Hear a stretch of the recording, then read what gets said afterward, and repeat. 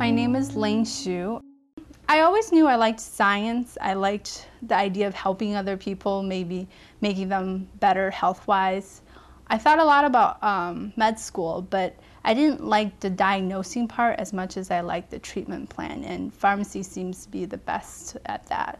What attracted me to University of Minnesota was several reasons. I like the campus. I like the idea that it's in the city, but at the same time, wildlife is just short a short drive away, and I'm a big hiker fan. In addition to that, I think I like the idea that the University of Minnesota isn't focused on just retail. Even though retail is a very big part of pharmacy, um, the college tries to show you different aspects, hospital, um, compounding, industry. And these are all reflected in the labs that we have during the school year and also during your rotation in your fourth year.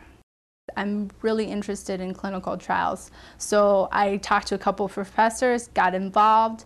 Um, I'm working on a topiramate project with Dr. Cloyd, and I was actually even able to go to the Children's Hospital in Philadelphia this summer to spend a month to work with their neurology group there. So that was really eye-opening.